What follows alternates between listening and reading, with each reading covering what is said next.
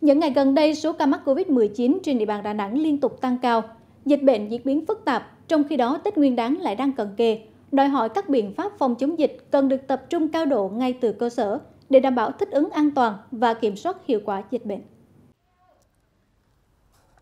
Từ cuối tháng 12 năm 2021 đến nay, chỉ chưa đầy một tháng, trên địa bàn phường Thọ Quang, quận Sơn Trà đã ghi nhận đến 523 ca mắc COVID-19. Do lượng bệnh nhân tăng cao, cùng với các biện pháp khoanh vùng, kiểm soát các chuỗi lây nhiễm, phường đã tích cực triển khai mở rộng việc cách ly điều trị F0 tại nhà. Nguồn nhân lực để được đưa về để cùng y tế để làm làm và và kêu gọi những y bác sĩ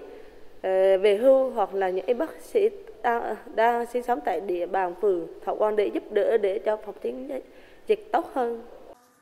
Từ đầu năm đến nay, Đà Nẵng đã ghi nhận đến hơn 9.200 ca mắc COVID-19. Trong đó liên tục những ngày gần đây, số ca bệnh mỗi ngày duy trì ở mức 800 đến hơn 900 ca.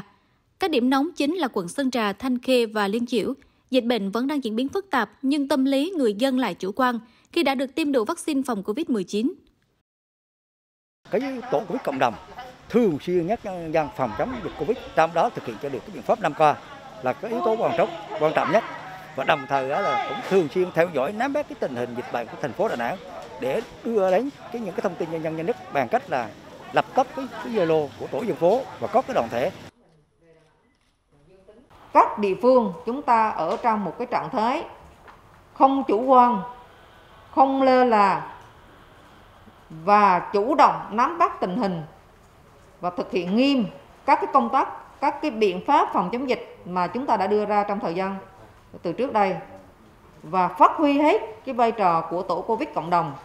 trong cái cái cái cái cái, cái đợt này để chúng ta tăng cường công tác kiểm tra giám sát và thực hiện nghiêm cái việc 5K ở trên địa bàn của mình cũng như là các ngành ngành như ngành công thương là về chợ rồi các cái ngành ngành y tế về bệnh viện rồi các ngành khác.